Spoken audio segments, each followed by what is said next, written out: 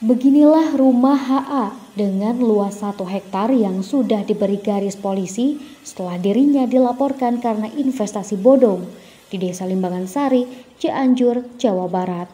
Terlihat di dalam lingkungan rumah mewah ini masih ada para pekerja yang beraktivitas di dalamnya. Selain itu, pihak kepolisian juga masih melakukan penjagaan di rumah terlapor Rencananya rumah mewah milik AH ini akan dilakukan penggeledahan oleh pihak kepolisian Cianjur. Hingga berita ini diterbitkan, korban yang melapor ke Polres Cianjur sudah ada dua kelompok. Satu kelompok di antaranya terdiri dari ratusan orang, dengan kerugian ratusan juta hingga miliaran rupiah.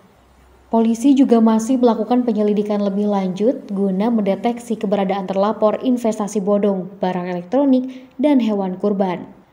Anggaryadi, Kompas TV, Cianjur, Jawa Barat.